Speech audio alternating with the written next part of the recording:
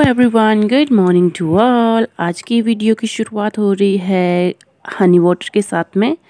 और क्योंकि मैं सुबह सुबह ध्यान ही नहीं रहा मुझे कि व्लॉग बनाना है तो फिर मुझे याद आया कि अच्छा व्लॉग भी कंटिन्यू करना है। तो इसलिए आज की शुरुआत हो रही है हनी वाटर के साथ में। और कैसे आप सब लोग आई होप कि सारे अच्छे होंगे। और ये देखिए, कल जो मम्मी पापा लेके आए थे, वो सारा सामान हमने वैसे के वैसा रखा था। तो फिर मैंने बारी बारी से जो है सारा सामान इधर उधर रखना शुरू कर दिया था। सबसे पहले सारी वेजेस को मैंने वॉश कर लिया था अच्छी तरह से। तो इसलिए मैंने इनको खुले तरह से डब्बे में डाल दिया था। और ये देखिए कितना बड़ा फूल गोभा है।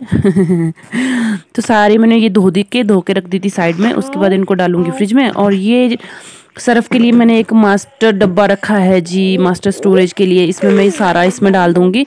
आठ के का ये है, दो के जी इसमें ऑलरेडी था तो यानी कि ये दस किलो का डब्बा है। उसके बाद मैं चली गई थी बाथरूम में बाथरूम की सफ़ाई करने के लिए, क्योंकि मंथली जो सफ़ाई होती है, वो मैंने लास्ट मंथ भी नहीं की थी तो दो महीने हो गए ऑलमोस्ट फिर ये जो है, वो दो महीने बाद सफ़ाई हो रही थी। तो मैंने अच्छी तरह से सारा कुछ साफ़ कर लिया था इधर उधर ऊपर सारे में झाड़ू मार लिया था, और उसके बाद जो है, वो जितनी भी चीज़ें थी, उनको अच्छी तरह से जो है, वो सेट करके रखने लगी थी मैं, जो कि शायद ज़्यादा मेरे ख्याल से एक हफ़्ता रहेगी अपनी अपनी जगह पर, उसके बाद ये तहस नहस हो जाएगा फिर से। क्योंकि लाजमी है, इतने लोग आते जाते हैं वॉशरूम में हम पाँच है पाँच मेंबर आएँगे, जाएँगे, अपने अपने तरीके से वॉशरूम यूज़ करेंगे, सामान यूज़ करेंगे तो कोई भी उठा के वहीं पे एग्जैक्टली उसी जगह पर नहीं रखेगा। अच्छा इसमें मैंने अपने जो भी पर्सनल यूज़ की सामान है और शैम्पू है और ये कंडीशनर है, मैं ये रेड ओनियन का यूज़ कर रही थी तो ओरिएंटल बोटेनिक का मैं यूज़ कर रही थी तो मैं इसका रिव्यू देना चाहती हूँ और इसका रिव्यू बहुत जल्दी दूँगी मैं आप लोगों को कि क्या रिव्यू है। ये यहाँ पे पापा का शेविंग का सामान रख दिया है मैंने सारा और इसमें ब्रशेज़ है, सबकी जो नहाते बार ब्रश करने वाले हैं, उनकी ब्रशेज़ यहाँ होती है और बाकी बाहर होती है, ठीक है? तो ये बाकी शैम्पू है, ये ध्रुवी का है और ये बाकी जो है वो क्लिनिक प्लस ही यूज़ करते हैं मैक्सिमम सारे क्लिनिक प्लस यूज़ करते हैं और ये मैंने बोला था ना हिमाचलियों का बॉडी लोशन सरसों का तेल। और ये साबुन यूज़ करते हैं रेक्सोना मुझे रेक्सोना पसंद नहीं है तो इसलिए मैं अपने लिए डव यूज़ करती हूँ, ठीक है? और इसके बाद जो है, फिर मैंने सारे में जो है वो इसके बाद मैंने फटाफट से जो है वो बाथरूम की जो टाइलेज है, उनको जो है वो क्लीन करना शुरू कर दिया था। सर्फ का पानी लिया था, सर्फ का पानी इनके ऊपर छिड़क के जो है वो झाड़ू के साथ में साफ़ करना शुरू कर दिया था। और ये अब मुझे रिकॉर्डिंग नहीं करने दे रहा है, बहुत इरीटेट करता है यार ये सीरियसली और उसके बाद ये मैंने अच्छी तरह से साफ़ कर दिए थे। इनमें जो होल होते हैं बीच में ना, उनमें साबुन वगैरह जम जाता है तो अच्छी तरह से उनको जो है किसी चीज़ के सहारे क्लीन करना ज़रूरी होता है सो दैट कि इससे पानी अच्छी तरह से ड्रेन आउट हो जाए करे जब भी हम इसमें सोप रखते हैं, ठीक है? इसके बाद बात बात बारी आएगी बर्तनों की, यानी कि बाल्टी वगैरह जो भी है बाथरूम में अंदर जो भी जो भी चीज़ें हैं तो बाल्टी बुल्टी अच्छे से साफ़ करके, जग अच्छे से साफ़ करके और टब वगैरह सब कुछ साफ़ कर दिया था मैंने बहुत अच्छी तरह से। ये देखिए, ये टब तो मतलब ऐसा लग रहा था दो महीने पहले का धोया है और ऊपर वाली परत देखो ब्लैक ब्लैक है और नीचे वाली वाइट वाइट है ना? तो ये अच्छी तरह से साफ़ करके मैंने इसको पूरा ही वाइट कर दिया था। फिर अब मुड़ के देखो कितना सुंदर हो गया बहुत अच्छी तरह से हो गया था, ठीक है? उसके बाद सबसे गंदा जो होता है, वो होता है हमारा जो ये पटला हम यूज़ करते हैं। ये बहुत ही ज़्यादा गंदा था। ये देखिए मतलब लिटरली इसको देख के मुझे वो यक वाली फीलिंग आ रही थी कि यार क्या ऊपर ऊपर से देखते हैं। हम नीचे हमने इसको देखा ही नहीं है कभी। तो अब इसको मैंने बिल्कुल साफ़ कर दिया था एंड चकाचक कर दिया था। पंद्रह मिनट की मेहनत के बाद में ये बिल्कुल साफ़ हो गया था। इसको आप शोरूम में भी रख सकते हो। ठीक है तो फाइनल लुक कुछ ये थी, फिर बाथरूम की सब कुछ सेट हो गया था, सब कुछ साफ़ कर लिया था। सारी जगह झाड़ू मार लिया था प्रॉपर तरीके से वाइपर वगैरह सब कुछ लगा दिया था मैंने क्लीन कर दिया था। और उसके बाद मैं किचन में आ गई थी तो ये ड्रॉज के हाल देखिए जनाब, इस ड्रॉज को मैं हर हफ़्ते साफ़ करती हूँ और ये जो सामान नया लेके आया, इसको रखूँ तो रखूँगा अब मुझे ये सारा ड्रॉज पहले खाली करना पड़ा। हाँ और ये मैंने ना मतलब जब मैं प्रेगनेंसी के टाइम पर थी चंडीगढ़ में तो तब का एक डब्बा था मुझे इसमें जो है वो एक्लेयर्स ली थी मैंने। तो ये वाली डेट्स जो है वो मैंने खाई थी उस टाइम पर प्रेगनेंसी के टाइम पर ये डब्बे इतने अच्छे मैंने उनको फेंकने का मन ही नहीं किया। और ये मेरे मैक्स वालों की तरफ़ से मुझे मिले थे बीज, टमाटर के बीज मिले थे दिवाली के टाइम पे। तो ये सेट कर दिया था मैंने सारा। इसमें क्या क्या हाँ जी जनाब तो मेरे ख्याल आज मॉर्निंग से अभी तक पहली बार मैं अपनी शक्ल दिखा रही हूँ। काम में उलझी थी अभी तक। तो काम हो गया और कपड़े धोने रहते हैं। ध्रुवी आज जो है वो बिना नहाए सुबह सो गया था तो अभी उठा है वो, उसको अब नहलाएँगे। तो खाना वाना खा लिया। मम्मा ने मशरूम बनाया था, इतना टेस्टी मशरूम बना था ना, मटर मशरूम कि मैं बहुत एक्स्ट्रा ही खा गई मतलब बहुत ज़्यादा खा लिया मैंने और इतना मसालेदार बना था ना, चटपटा बहुत ज़्यादा।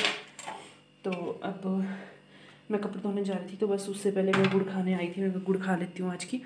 और मेरे से ना क्वेश्चन किया था नरेंद्र ठाकुर की आईडी से, जो है मेरे वीडियो पे कमेंट किया गया था कि, दी, आप बताना कि आप आमला और गुड़ क्यों खाते हो? ठीक है?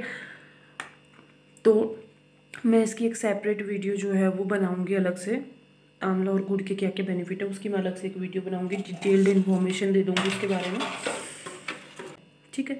दो मेन रीज़न मेरे जिस जो गुड़ खाने के वो यही है कि इसमें आयरन होता है जो कि हीमोग्लोबिन बढ़ाने में हेल्प करता है। हमें, आप मानो या ना मानो, लेकिन हम में से हंड्रेड में से नाइन्टी या नाइन्टी फाइव वुमेन ऐसी होगी जिनके अंदर जो है वो एचपी की कमी होगी, जिनका हीमोग्लोबिन लो होगा। ठीक है?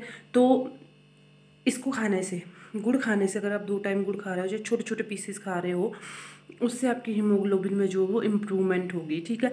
प्लस ये एंटीऑक्सीडेंट है, इसमें जो वो फ्री रेडिकल्स होते हैं तो वो आपकी स्किन के लिए भी बेनिफिशियल है ग्लो करेगी आपकी स्किन ठीक है? ये तीसरा रीज़न खाना खाने के बाद हम जो गुड़ खाते हैं ना तो हमारे जो डाइजेशन है ना, वो बढ़ जाता है मतलब। हमारे बॉडी में जो हमने खाना खाया होता है, उसको बहुत अच्छी तरह से डाइजेस्ट करने में हेल्प करती है गुड़। तीन मेन रीज़न मेरे, जो मैं गुड़ खाने के लिए प्रेफर करती हूँ, कि मैं इन रीज़न की वजह से गुड़ खाती हूँ, ठीक है? कपड़े धोने जा रही हूँ। बाद में मिलते हैं। धूपी ने बहुत तंग कर दिया हम लोगों को, और बाहर धूप बहुत ज़्यादा है, और ये चुपचाप बैठ नहीं रहा, इधर उधर भाग रहा है तो अब हम जा रहे हो। कैलाश पर्वत पे जा रहे हैं, अब हम दोनों। तंग बहुत कर रहा है यार। तो फिर यहाँ ऐसा कोई सेफ़ कमरा नहीं है जहाँ पे हम इसको ऐसे छोड़ सकते हैं। पजामा नहीं लाया मिलाते हो। तो फिर यहाँ आ गए हम डबल में ऊपर और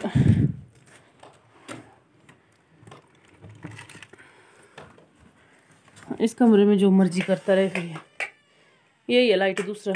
लाइट आ गई यहाँ से। कोई नहीं बल्ब नहीं लगा अच्छा होल्डर लगा दिया भैया ने बल्ब नहीं अच्छा अच्छा। अब इस कमरे में ये खेलता रहेगा। हाँ बैठ नीचे। हमें कोई प्रॉब्लम नहीं है यहाँ कोई डर नहीं है इसके गिरने का। वो गद्दे कहाँ गए से?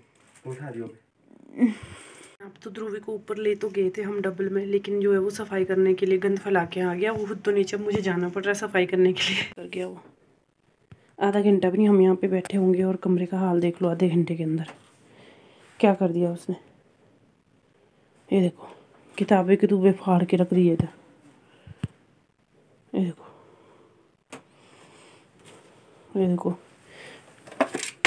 घड़ियों की सुइयाँ उड़ गई। शीशा तो खैर उड़ ही गया।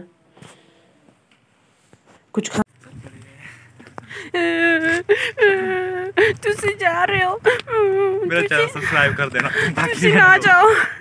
तुसी ना जाओ प्लीज़ तुसी भज जाओ। किसी ने चैनल सब्सक्राइब नहीं किया है मेरा तो प्लीज़ मेरा चैनल सब्सक्राइब कर देना राहुल कटोच हाँ भाई इसका चैनल सब्सक्राइब कर दो। तो वैसे तुम्हारे दोनों के कॉमन है सारे सब्सक्राइबर बट अगर कोई हो ऐसा कि जिसने मेरा चैनल सब्सक्राइब ना किया हो तो मेरा चैनल सब्सक्राइब कर देना। राहुल कटोच। लिंक डाल देना डिस्क्रिप्शन में। Okay okay okay okay okay तो ये जा रहा है यार कल ही तो आया था आज जा रहा है। कुछ मज़ा नहीं आया। कुछ दिनों बाद आऊँगा फिर से। पार्टी है इसके पापा ऊपर धाने के दूसरी बार लगातार विजेता रह चुके हैं तो उसकी पार्टी है इनके घर में इस सैटरडे को। तो उसके बाद आएगा भैया अभी उनका काम भी रहता है थोड़ा बहुत कुछ ना कुछ काम हो ही जाता है पता ही है फिर। चल बाय यार। बाय बाय बाय बाय ऐसे कच्चे ड्राइवर है तेरे को पता कैसे झूला झुलाते हुए ले जाएँगे? ऐसे ऐसे ऐसे ऐसे झूला झुलाते हुए ले जाएँगे। बस बस इनके बस का नहीं है ऐसा। जैसा गुलाम पे पाए फ़ोन देखना कहाँ डाल रहा है। मत आना फिर ठीक है? हम पुलाव बना रहे हैं घर मत आना मैंने बोल दिया है। अरे रुको! बाय हाँ ठीक है। चला गया यार।